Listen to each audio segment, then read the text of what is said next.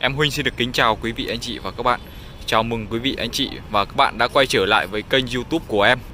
À, Nhân dịp ngày hôm nay là ngày đầu xuân à, Bên em khai xuân thì em à, xin phép được gửi lời chúc đến à, quý vị anh chị và các bạn à, Một năm mới an khang thịnh vượng à, Công việc à, suôn sẻ thành công Gặp nhiều may mắn, gia đình hạnh phúc. À, Địa chỉ cửa hàng của em có tại số 17 Phạm Hùng đối diện bến xe Mỹ Đình Siêu thị ô tô BK Hà Nội. Anh chị em nhé. À, đơn vị của bên em nếu như cho anh chị em nào là lần đầu tiên à, theo dõi kênh của em thì bên em chuyên kinh doanh các dòng xe đã qua sử dụng đặc biệt là dòng xe gầm cao. Đấy, bên em à, à, vương quốc gầm cao đấy rất là nhiều các dòng xe gầm cao. À, một số sản phẩm chủ lực của bên em như là dòng xe Toyota Fortuner đấy, dòng xe Ford Everest Santa Fe Sorento. Đấy, rất nhiều dòng xe anh chị em nhé chủ lực là dòng xe gầm cao. Đấy, nếu anh chị em nào mà đang quan tâm À, và đang mong muốn tìm kiếm cho mình một cái dòng xe gầm cao thì có thể ủng hộ em bằng một à, nút đăng ký kênh để à, em có thể à, mang đến những video à, về các dòng xe gầm cao đến cho anh chị em cùng xem nhé. Và ngày hôm nay thì là nhân ngày đầu xuân và cũng là cái à, ngày đầu xuân bên em khai xuân thì em xin phép mang đến cho anh chị một dòng xe gầm cao Đấy, rất là nổi tiếng và rất là quen thuộc tại thị trường Việt Nam. Đây là dòng xe Toyota Fortuner à, với mong muốn của em đấy là mong muốn tất cả anh chị em đều được may mắn như cái tên gọi của chiếc xe này. À, trong tiếng Anh thì Fortuner thì uh, có nghĩa là uh, may mắn. Đấy và uh, rất mong là quý vị khách hàng uh, những anh chị em nào đang xem được video này của em thì sẽ được gặp thật nhiều may mắn trong năm 2022 này nhé Đấy, và trở về với nhân vật chính của chúng ta ngày hôm nay. Đấy, chiếc Toyota Fortuner sản xuất 2013 anh chị em nhé sản xuất 2013 phiên bản máy xăng một cầu số tự động Đấy, chiếc xe này thì ờ, form dáng à, còn rất là đẹp và hầu như là nó chưa bị à, gọi là bị lỗi thời đâu anh chị em ạ. Đấy, cái form dáng máy xăng này thì rất là đặc biệt à, ở một chỗ. Đấy, đấy là chúng ta có thể phân biệt được với phiên bản máy dầu ở năm 2013. Đấy là nắp capo của chiếc xe này không có hốc hút gió thì uh, nó sẽ là phiên bản máy xăng anh chị em nhé. Đấy, còn có thêm hốc hút gió là từ 2013 thì có thêm hốc hút gió bởi vì cái động cơ nó thay đổi à, tăng công suất đấy, tăng mô men xoắn cho nên là động cơ cần phải à, có thêm hút gió để à, làm mát động cơ anh chị em nhé. Về phần chất lượng của chiếc xe thì khi đã về đến cửa hàng bên em thì à, bên em đã đảm bảo cho anh chị em à, rất nhiều các yếu tố quan trọng khi mà chúng ta tìm kiếm một chiếc xe đã qua sử dụng. Đấy, về những cái vấn đề quan trọng bao gồm thứ nhất là về phần à, động cơ hộp số thứ hai là về phần ngập nước thủy kích và cuối cùng là về phần à, giấy tờ pháp lý sang tên đổi chủ là bên em đã lo lo hết cho anh chị em rồi nhá. Đấy, chúng ta đến à, mua xe thì có thể bỏ qua những cái lo lắng như vậy. Đấy, thì bên em sẽ cam kết bằng văn bản giấy tờ cho anh chị em.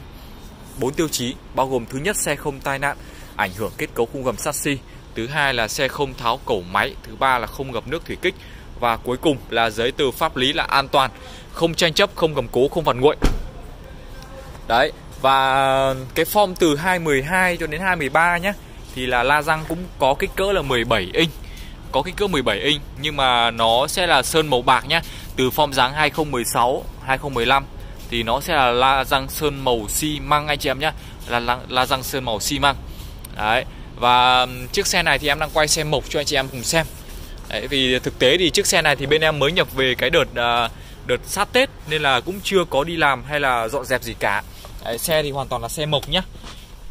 Đấy, dòng xe này thì được đánh giá nó rất là bền bỉ rồi, rất là bền bỉ. Rộng rãi, to cao. Công bị uh, trang bị của chiếc xe thì nó đủ dùng thôi, nó rất là thực dụng. Ờ, như cách mà của người Nhật ấy, người Nhật người ta rất là thực dụng. Nên là những cái sản phẩm của người Nhật thì cũng như vậy rất là thực dụng đủ dùng. Nhưng mà được cái là nó rất là tin cậy bền bỉ nhá, không bao giờ có chuyện hỏng vặt hay là rất ít khi nhá, rất ít khi hỏng vặt. Đấy và xe này đi được 11,5 vạn km anh chị em nhé sản xuất 2013 11,5 vạn km vô lăng còn cực kỳ là đẹp luôn. Đấy xe gia đình chúng ta mua những dòng xe này thì không bao giờ lo cái vấn đề là xe bị chạy dịch vụ nhé vì không ai mà lấy chiếc xe này đi chạy dịch vụ cả. Đấy vô lăng còn rất là đẹp nhá. Đấy, xe máy xăng động cơ 2.7 nhá. Đi rất là bốc rất là thích. Đấy, điều hòa tự động này. Điều hòa của Fortuner thì gọi là chấp tất chấp tất cả các loại điều hòa luôn. Đấy, rất là mát mát rất là sâu nhá. Có cửa gió điều hòa riêng cho từng hàng ghế. Đấy, lên có màn hình rồi này màn hình DVD này. Đấy, hộp số tự động 6 cấp anh chị em nhé Ok. Đấy, về trang bị uh, option công nghệ thì rất là đủ dùng thôi. Đấy, rất là đủ dùng. Về phần giá bán thì uh, hiện tại đang có một mức giá rất là hợp lý. Uh, nó có mức giá đó là 545 triệu đồng. 545 triệu đồng nếu như chúng ta mua xe mới đi. Uh, mua xe mới thì uh, có thể mua được um, những cái dòng xe ở phân khúc hạng A và có thể nào đó mua được những cái dòng xe phân khúc B. Uh, nhưng mà ở dòng xe phân khúc B thì ở chỉ là những cái bản gọi là bản à, thấp nhất thôi bản tiêu chuẩn thôi được trang bị à, hộp số sàn thôi. Và thực ra thì nếu mà với số tiền đấy chúng ta mua xe mới thì khá là ít sự lựa chọn ngoài những dòng xe phân khúc A thôi. Đấy và chiếc xe này sở hữu thì chúng ta được lợi thế. Đấy là xe 7 chỗ gầm cao động cơ mạnh mẽ. À, và chúng ta à, mất gì ở chiếc xe này. Đó là thứ nhất đúng là xe cũ. Thì chúng ta sẽ à, à, những à, về xe cũ thì chắc chắn là chúng ta sẽ không được bóc tem rồi. Thứ hai là về phần chiếc xe này nhá thì em cũng chia sẻ thật luôn.